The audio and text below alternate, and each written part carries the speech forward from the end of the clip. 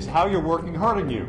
I'm Dr. David Graver with the Association of New Jersey Chiropractors, and with me today is Dr. Kevin Christie, an ergonomic expert. And Dr. Christie, most of us work sitting. Yes. We're at a desk, we commute hours a day, 8, 10, 12 hours a day.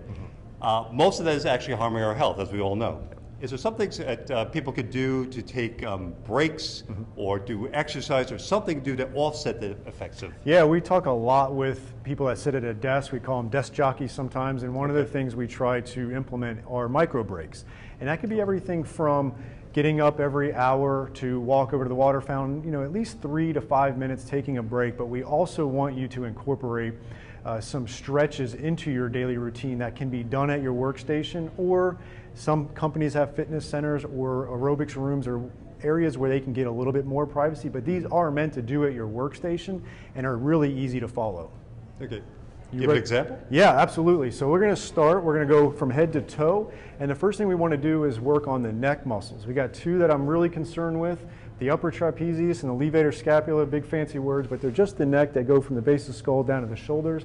And so what I want you to do is just look towards your right shoulder, okay? And you're going to take your right hand and reach it over your head, and then just nice and lightly pull down just like that. A little bit more towards here for me. There you go. And you'll feel a stretch That right through good. there. I don't want you to force it too much. It has to be nice and light, and then just let this arm here uh, hang there, and you'll feel a nice stretch through there. Yes. Okay, so that's stretch one you can do. The next one we're going to do is we're just going to reach over and go just like that.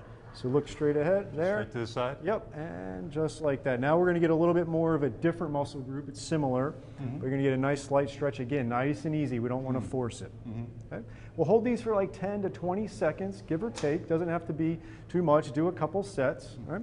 And then the third thing we're going to do is try to do a postural reset, where we're going to just sit up with our sternum up. You can do this at the edge of the chair. And from there, arms here, and then you're going to pull down. I want you to just kind of pinch the shoulder blades together. You'll feel a stretch on the mm-hmm. anterior shoulders and Yes, chest. yes. And you'll feel a little bit of activation on the mid back muscles there. We want to try to wake those up to help maintain good Should posture. breathe for this too? Yes, you're going to breathe.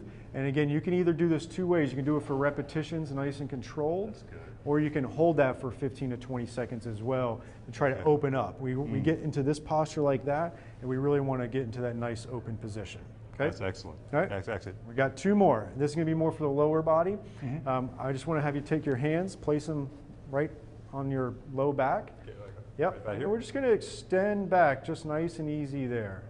Good. Extend back. Should I be pushing? Keep your head straight, just like that. And then I want you to extend at the low back. Okay. We're getting some extension in the low back. Again, when we sit a lot, we get too flexed. Mm. So we're extending the spine back. If, if the neck is something that bothers you going back that way, you don't need to necessarily extend back. You can keep the neck straight. Okay.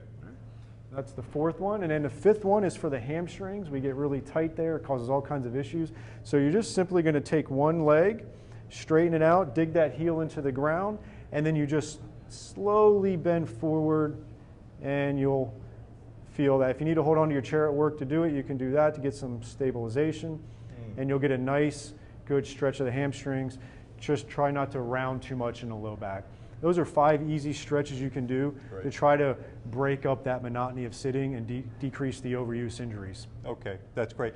Uh, you also have a podcast about all these and other Yeah, you can go to the moderndeskjockey.com. We uh, have over 90 episodes there. It's it's a library of episodes. We're no longer doing current episodes, but great information there, a lot of good interviews and good tips and advice. Thank you. Definitely. That's excellent. That's excellent. Uh, if you also need a chiropractor or someone else to help you with ergonomics, contact the Association of New Jersey Chiropractors at anjc.info. Thank you.